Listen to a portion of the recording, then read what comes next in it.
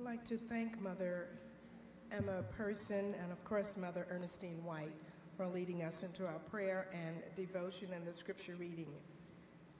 We thank God for our presiding bishop, Bishop Charles E. Blake Sr., for giving us the theme of godly women strategizing. But as Mother extrapolated from that, it's strategizing to preserve the Department of Women heritage.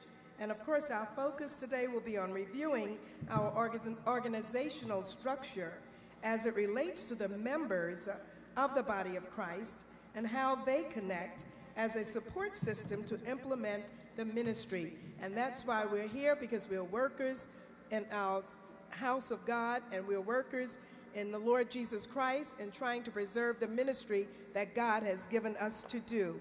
Um, this morning, before we go into our words of exaltation, we're going to ask for our national uh, president of the nurses unit, our own sister uh, Anita Farris, to come, and she's going to give us highlights on uh, health education at this time. Please give her an uh, ovation as she comes, please. Our own sister Farris. Come on, let's hear it for her.